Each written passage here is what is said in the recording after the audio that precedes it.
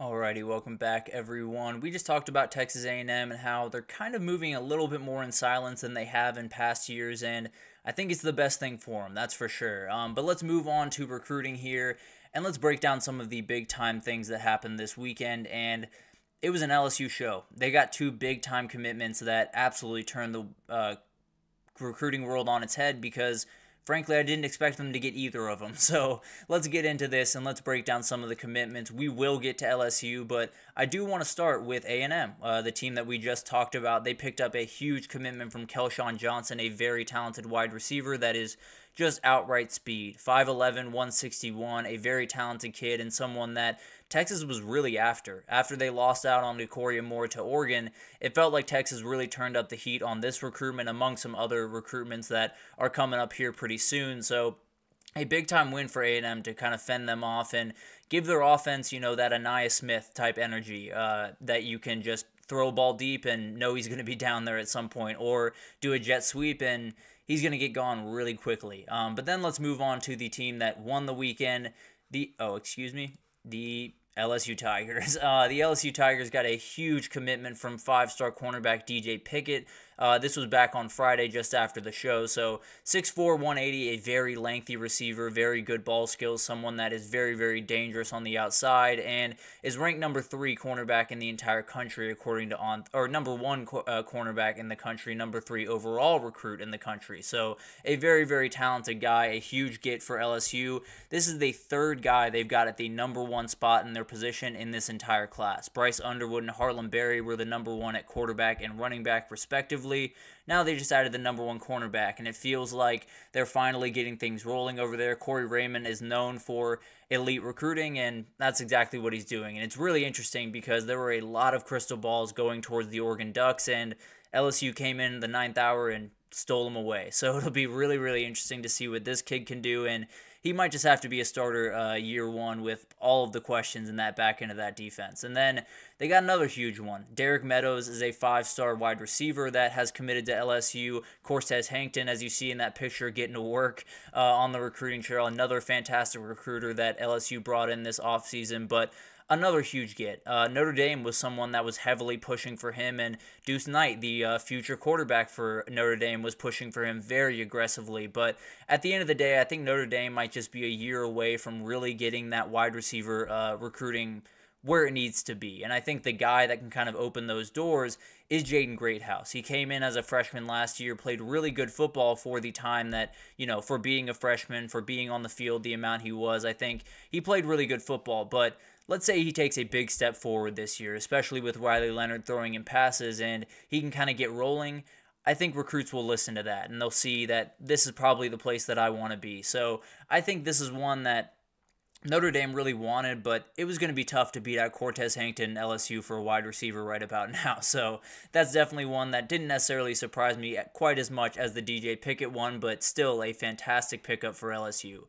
Ohio State got in on the party as they often do. Jarquez Carter is a very talented defensive lineman, 6'2, 280, so not necessarily the biggest guy in the world, but definitely a very, very talented guy on the interior of that defense. And if you're Larry Johnson, he's going to be able to get big time recruits. As long as he is the uh, defensive line coach in Columbus, uh, Ohio, the Buckeyes are going to have dudes up front. I can promise you that. This guy is absolutely remarkable at recruiting, at development, at everything in between. So definitely someone that Ohio State just got to hold on to with both hands and never let go, if I'm being totally honest. Um, but let's move on to the team that maybe be uh, has been the biggest surprise over the last couple of weeks.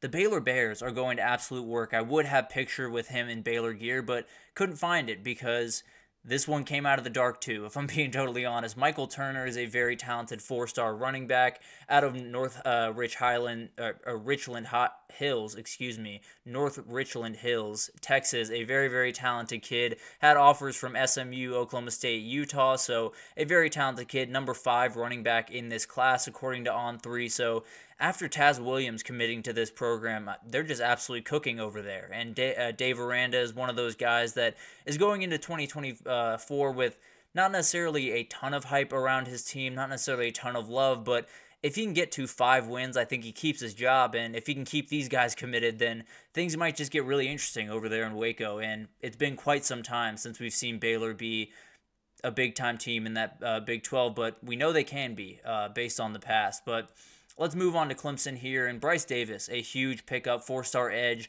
6'4, 255, just exactly what you want from an edge rusher, someone that is really, really talented. Pick them over Georgia and Duke were the two other teams really vying for him.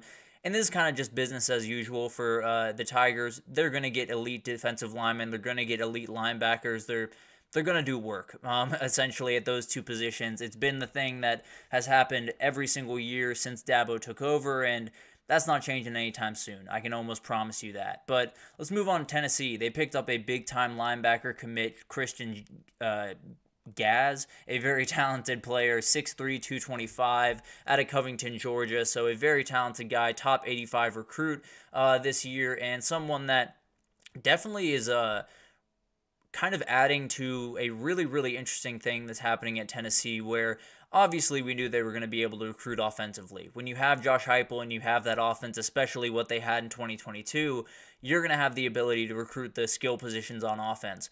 What they've done on defense has been remarkable. They continue to add really, really high level guys, and it's making it where Tennessee doesn't have to beat people 42 to 45 or 52 to 45. They have to beat people 24 to 21. It doesn't necessarily always have to be pretty, and that's kind of the big next step, right? That, that's the big step for uh, Tennessee and Josh Heupel to take, where they can become a big time SEC player if they continue to build out this defense. What's up, D Money? How you doing? Um, Floyd uh, Bouchard is someone I want to talk about because he is coming all the way from Montreal, Quebec, which is very, very interesting. A guy that is a little, I'm sure, is a little bit rough around the edges. Definitely more of a project type guy, but 6'4, 315 defensive lineman. You want that guy on your roster and you'll figure out everything else later. I promise you that. He's a very, very talented guy and always really cool when you see someone from outside the U.S. make that jump into college football. And something tells me this might just be a real big time player in a couple of years here. Uh, UGA just continues to do UGA things, bring in big time offensive linemen. And Cortez Smith is just the most recent among them.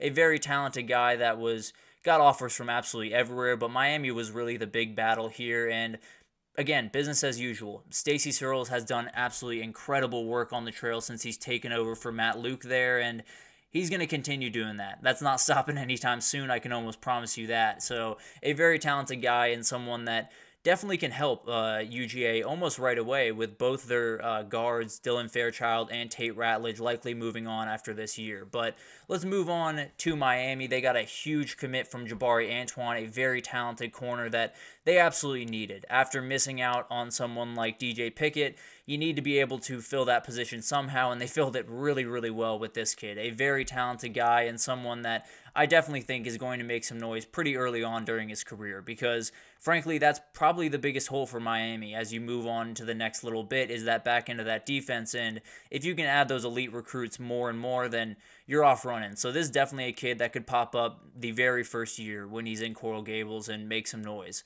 And then finally, Vernell Brown uh, the third made his decision. He's committed to Florida, and that's something that I've talked about on here a little bit before. He had offers from Ohio State, Miami, Florida State, and he picked Florida. And I need people to understand that there is something uh, being sold in those doors that is different, that recruits are responding to, that they obviously see in that building, and I don't know. I'm not saying that Florida's going to tear people apart this year. I'm not saying they're going to go, you know, 9 and 3 and make a playoff or anything crazy, but this is a program that is really working fairly well comparatively to what they're doing on the football field. So, it's a really really interesting thing to watch and definitely getting a guy like this is going to be a huge boost to that. So, maybe Billy Napier doesn't win a ton of games this year, but with the recruiting class he's bringing in, you might just want to keep him around. Um, so it'll be fascinating to watch that unfold. But then finally, I kind of want to get into the big time commitments that are coming up in August. We have tons of five stars that are committing this August, and I want to give some predictions for them. So let's get underway here. Uh, Jared Smith is a five star edge. He is committing on the 3rd of August. I'm going to go Auburn here. I feel pretty confident in that. It feels like everything is trending towards Auburn. South Carolina is going to make a push here late, but I'd lean towards Auburn winning this one out. And then Trey McNutt, a five star safety, a very, very talented young kid, committing on the exact same day. I think this one's going to be Oregon. I think Ohio State wants this one really, really bad, um, especially after losing some other commitments to Oregon. But I just think it's going to be too much. I think uh, Oregon's going to win this one out. But if anyone was to steal this one, I think it would be Ohio State. You got Kaliq Lockett is going to commit shortly after that on the 7th at 2:41 p.m. for some reason. I don't know why it's so specific, but I do think he's going to pick Texas. I know A&M's pushing really hard. I know Bama is pushing probably harder than anyone else, but I like to think Texas is going to get it done. Um, there's no two ways about that. And then you have Josh Petty, a very talented five star offensive tackle. He's committing on the 12th. It's going to be Florida State. I feel very confident in that. Georgia Tech's the other team that's really pushing here, but you're fighting an uphill battle. I'll be totally honest. Uh, David Sanders Jr., the number one offensive tackle in the country, is committing shortly after that on the 17th.